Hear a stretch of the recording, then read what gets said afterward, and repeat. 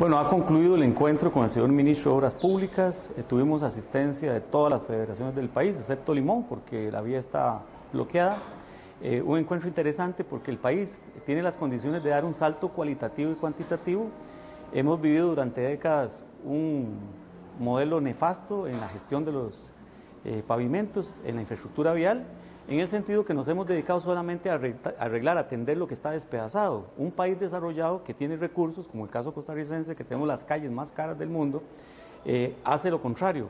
Habilita toda la infraestructura vial para lo cual ocupamos urgentemente las líneas de crédito de los bancos. Hemos tenido conversaciones con el Banco Nacional, con el Popular, queremos tenerla con el Banco de Costa Rica. Arregla toda esa infraestructura y se dedica a darle mantenimiento a toda la red vial cantonal y nacional.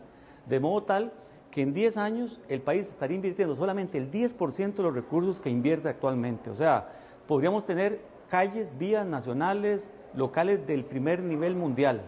Pero bueno, a alguien se le ocurrió hacer un modelo distinto, un modelo eh, más curativo y menos preventivo. Y ahora con el ministro, que además es un experto en gestión de pavimentos, tenemos el gran acuerdo los organismos de integración nacional, Unión Nacional de Gobiernos Locales, la Asociación Nacional de Alcaldes e Intendentes, la Confederación de Federaciones Municipales y los consejos municipales de distrito estamos unidos en una sola propuesta. Lo, mismo vamos a hacer en Asamblea Legislativa, los proyectos de ley hay que concertarlos con el Poder Ejecutivo toda vez que estamos en sesiones extraordinarias. De manera